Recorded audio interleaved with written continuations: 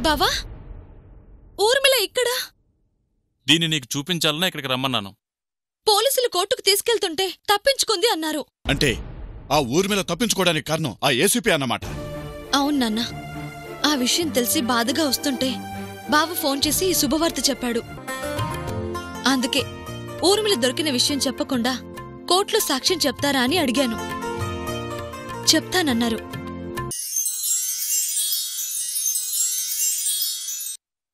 ఆ, ఈ విషయం మన మధ్యలోనే ఉండాలి. పొరపాటును కూడా మరో మనిషికి మన ప్లాన్ తెలియకూడదు. ఆ విషయంలో నీకు అనుమానం అవసరం లేదురా. నాకు కావాల్సింది ఆయన నిర్దోషిగా బయటికి రావడం. మీరు చెప్పినట్టే చేస్తాం అంకుల్. మేమేం చేయాలో వివరంగా చెప్పరా.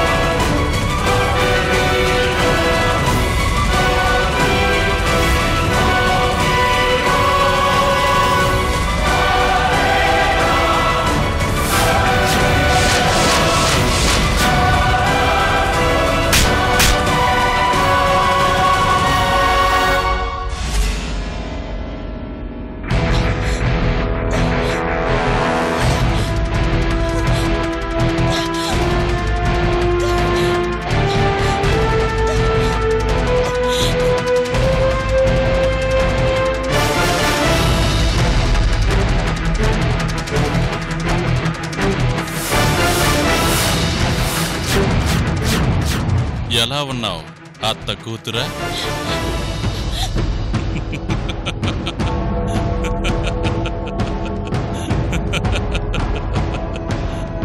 మర్యాదగా నా కట్లు విప్పు. లేదంటే నా చేతిలో చేస్తావు. ఏం మారలేదు. అదే బలుపు. ఆ రోజు మా తమ్ముడి చేతిలోనే చావాల్సింది. ఏదో తన మంచితనం వల్ల వదిలేశాడు. మనిషివైతే నువ్వు అప్పుడే మారాలి. మారకపోగా మరిన్ని తప్పులు చేశావు. మా సావిత్రి నానా బాధలు పెట్టావు. నా తమ్ముణ్ణి జైలు పాలు చేశావు. నిన్ను మామూలుగా వదిలిపెట్టకూడదు.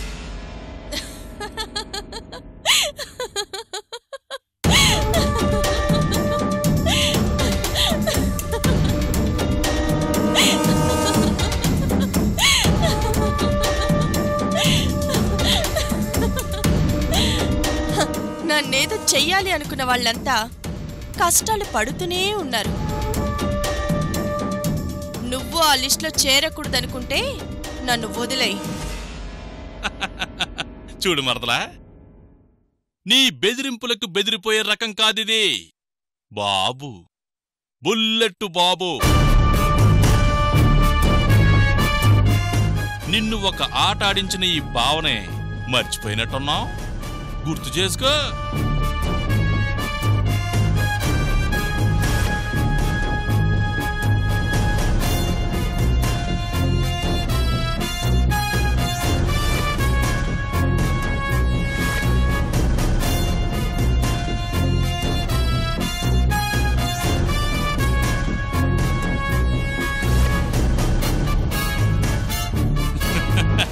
గుర్తొచ్చాయా? నువ్వు ఆడిస్తే ఆడే రోజులు పోయాయి.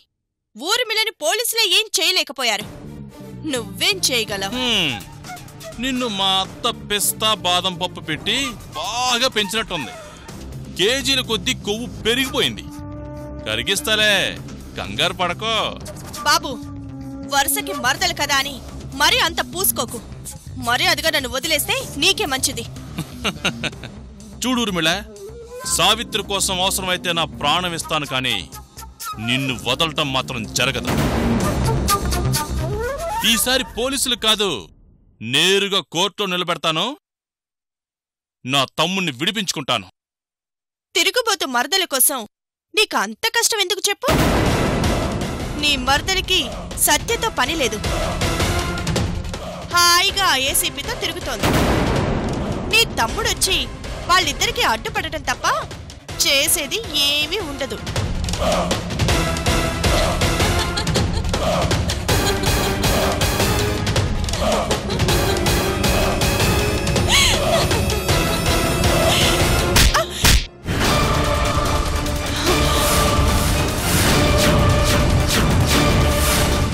ఎవరి గురించి ఎవరికి చెప్తున్నావే? నా మరదలు అలాంటిది అయ్యుంటే నీ వల్ల ఇన్ని కష్టాలు పడుండేది కాదు. ఎప్పుడో నిన్ను శవాన్ని చేసేది. పచ్చగా కామెరలు వచ్చిన వాళ్ళకి లోకం అంతా పచ్చగా కనిపిస్తుందని పరాయి దాని భర్త కోసం పోకలాడే నువ్వా? నా మరదల గురించి మాట్లాడేది. మా సావిత్రి నిప్పు. కాబట్టే కన్న వాళ్ళు అయిన వాళ్ళు అందరూ కాదన్నా వాళ్ళందరినీ ఎదిరించి భర్త కోసం పోరాడింది పోరాడుతూ ఉంది. నా మరదలు కాలువేళ్ళి ధూళికి కూడా సరితూగవే నువ్వు. నువ్వు మా సావిత్రిని తప్పుపడుతున్నావా మళ్ళీ ఇలాంటి తెంగర కూతలు కూసావనుకో నిన్నిక్కడే చంపి నీ శవాన్ని కోర్టుకు తీసుకెళ్తాను. సావిత్రి అని పేరు పెట్టుకుంది కదా అని నీ మరదలేదో సతీ సావిత్రి అన్నట్లు చెప్తున్నావుగా? అవును అంత గొప్పదే. కాబట్టే యముడి నుంచి ఆ సావిత్రి తన భర్తను కాపాడుకున్నట్లు ఈ రోజు తన భర్తని పోరాడి గెలుచుకోబోతుంది. ఆడదంటే ఎలా ఉండాలో నా మరదల్ని చూసి నేర్చుకో. ఇక నీ పిచ్చి చేష్టలు సాగవు ఊర్మిళ. కోర్టు బోన్లో నిలబడే వరకే నువ్వేం వాగినా. ఆ తర్వాత మాట్లాడుకోవడానికి తోటి ఖైదీలు తప్ప ఎవ్వరు ఉండరు. నీ ఆట అయిపోయింది. ఇంక నిన్ను ఎవ్వరూ కాపాడలేరు.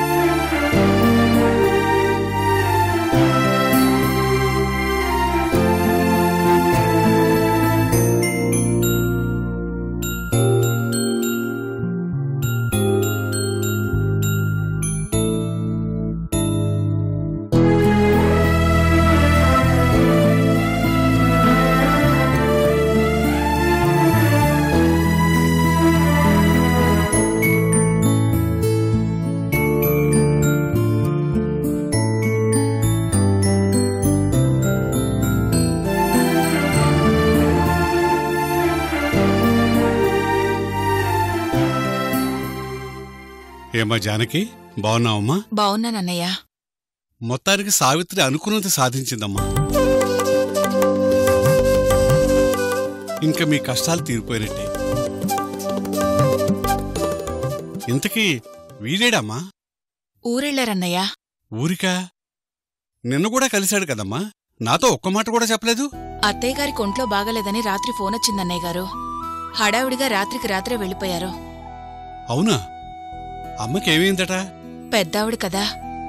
గుండెల్లో నొప్పొచ్చిందట. అరెరే ఇప్పుడు ఎలా ఉందో? మాకు ఇంకా ఫోన్ చేయలేదన్నయ్య గారు. అప్పటికే నేను వెళ్తాను అన్నాను. వాళ్ళ అమ్మగారంటే ఆయనకి ఎంత ఇష్టమో మీకు తెలుసు కదా. లేదు లేదు నువ్వు అమ్మాయిని చూసుకో అని ఆయనే బయలుదేరారు. సర్లే అమ్మా వాడితో నేను మాట్లాడతానులే. ఉమ్.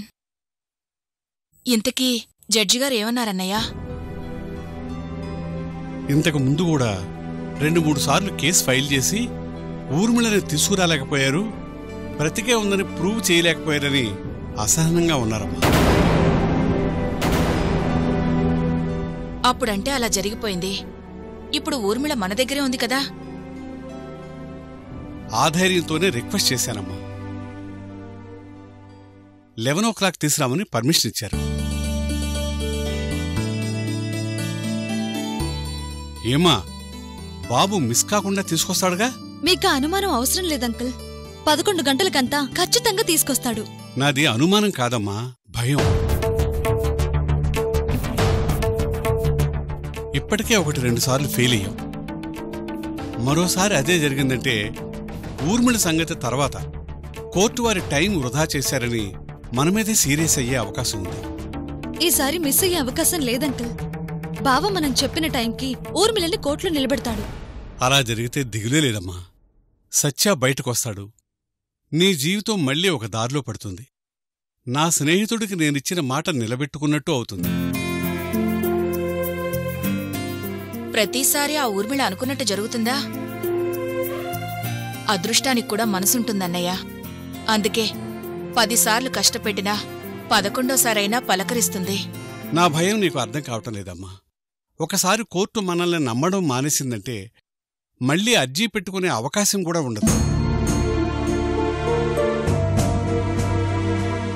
అలాంటి పరిస్థితి వస్తే సత్యని మనం ఎప్పటికీ కాపాడుకోలేం అందుకే ఇంతగా చెప్తున్నాను. ఈసారి కోర్టులో మీ మాట పోనివ్వం అంకుల్. పదకొండు గంటలకంతా ఊర్మిళ కోర్టులో ఉంటుంది. ఆ ఎందుకైనా మంచిది. కాస్త జాగ్రత్తగా తీసుకురమ్మని బాబుకు ఓ మాట చెప్పమ్మా. అలాగే అంకుల్. ఈ రోజుతో నీ కష్టాలు తీరిపోవాలని మనస్ఫూర్తిగా కోరుకుంటున్నానమ్మా.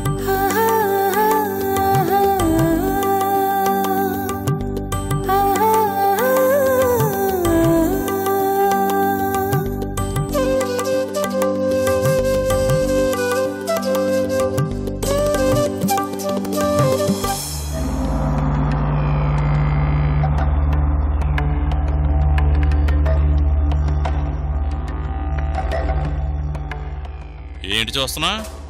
దిష్టి తగులుద్ది. నీకు పెట్టానుగా? తినరాదు?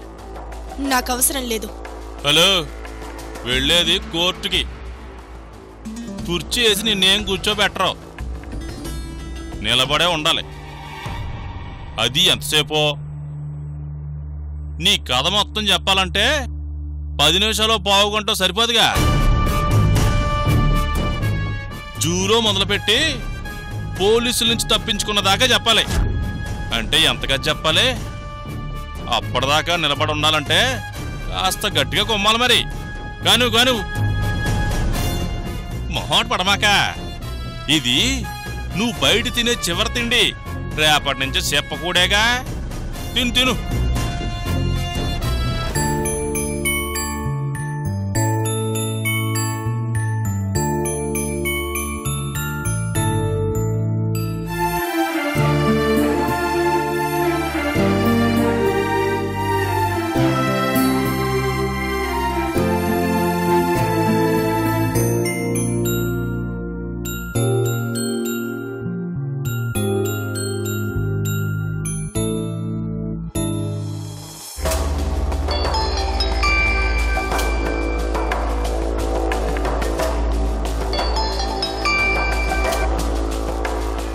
చెప్పు సావిత్రి.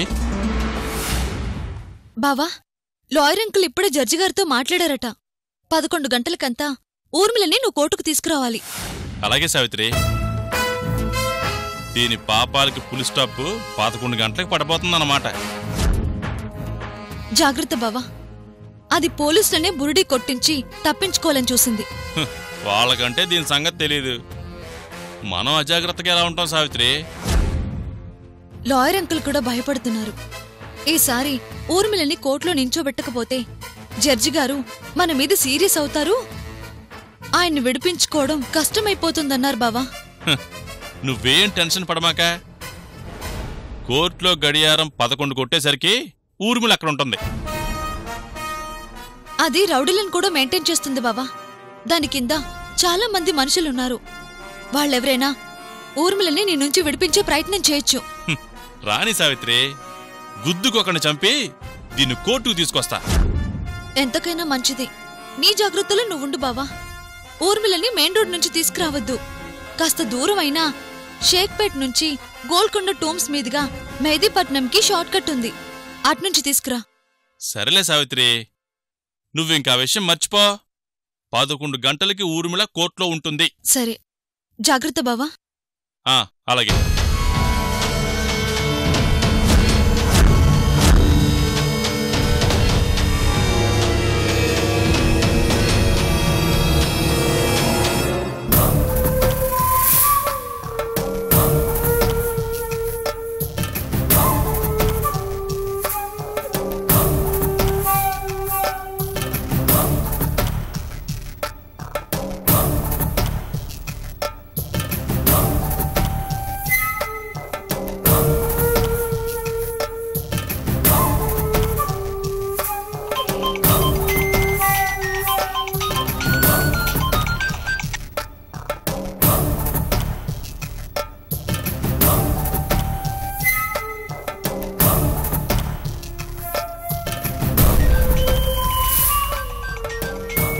ఫోన్ చూడరా.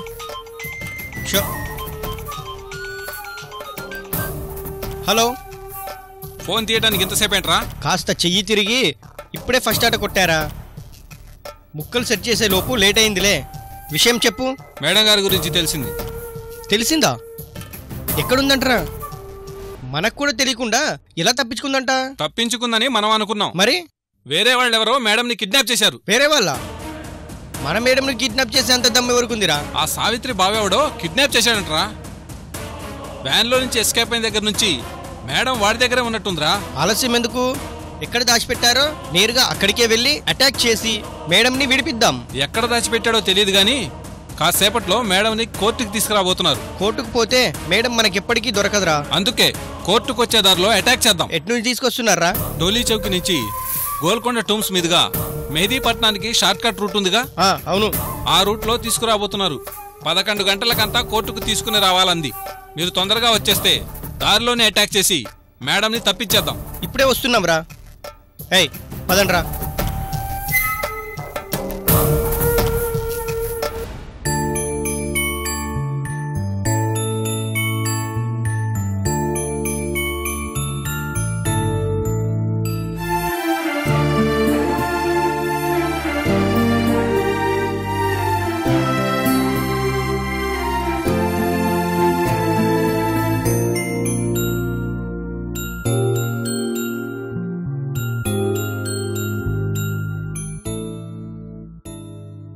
ఏసీపీ గారు వచ్చి సాక్ష్యం చెప్పాలి కదమ్మా. వస్తానన్నారు కాబట్టి తప్పకుండా వస్తారమ్మా. మరి కోర్టుకి టైం అవుతున్నట్టుంది. ఎందుకైనా మంచిది. ఒక ఫోన్ చేయకూడదు? చూద్దామమ్మా. రాకపోతే ఫోన్ చేస్తాను.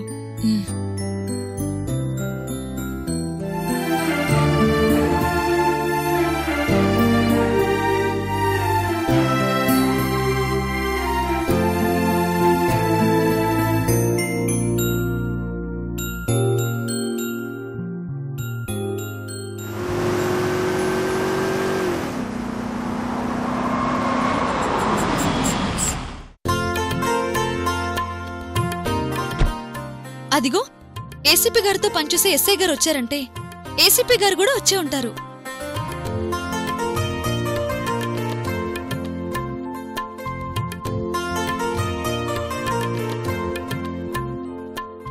నమస్తే సార్. నమస్తే అమ్మా. ఏదైనా వేరే కేసు గురించి వచ్చారా? లేదమ్మా మీ గురించే వచ్చాను.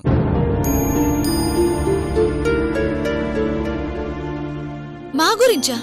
ఊర్మిళ బ్రతికే ఉందని కోర్టులో మేము సాక్ష్యం చెప్పాలని అడిగారంట కదా?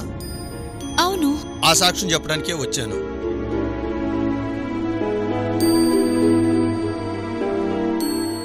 అదేంటి?